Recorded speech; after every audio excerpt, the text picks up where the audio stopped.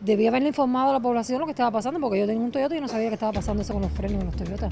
Le pasó a Ford, le pasó a, a Chevrolet. Mira, yo tengo un Toyota, siempre tenía Toyota. Bueno, yo pienso que todo eso tiene que resolverse. Y a pesar de toda esta situación que está enfrentando la corporación Toyota, ahora con los frenos, primero con los aceleradores, aquí personas entrevistadas en el sur de la Florida tienen diferentes opiniones. ¿Qué piensa de lo que está sucediendo con la Toyota? Bueno, un error mecánico, eso no, no creo que tenga problema. Yo mejor que Toyota no quiero. Es el mejor auto que camina para mí. Vamos a ver que esperemos que lo arreglen, porque yo tengo un Toyota Matrix 2009 y llamamos y nos dijeron que teníamos que esperar a que nos manden una carta para llevarlo. ¿Has tenido problemas con el acelerador? No, no, hasta ahora no. ¿En sentido general no te preocupa? Sí, claro. Antes andaba como a 70, ahora me da miedo, digamos. Me subo al expressway y tengo que esperar.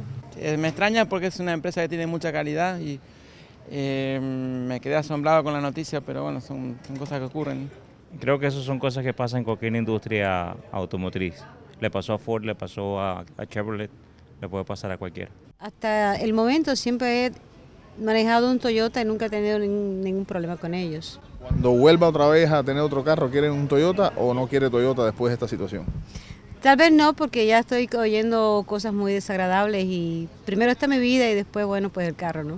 Todavía sigo con el Toyota. ¿Se queda con el Toyota? Si yo me quedo con el Toyota. Mi esposa tiene Toyota, mi hermano, toda mi familia tiene Toyotas. Cuando vaya a comprar un nuevo carro, Toyota, definitely. no importa lo que está No sucediendo. importa qué está pasando, la calidad de, de Toyota son los mejores. Bueno, yo pienso que todo eso tiene que resolverse. Porque es el, es el peligro de pérdidas de vidas humanas. Debía haberle informado a la población lo que estaba pasando, porque yo tenía un Toyota y no sabía que estaba pasando eso con los frenos de los Toyota. Con la ley y para la ley, Alberto Tavares.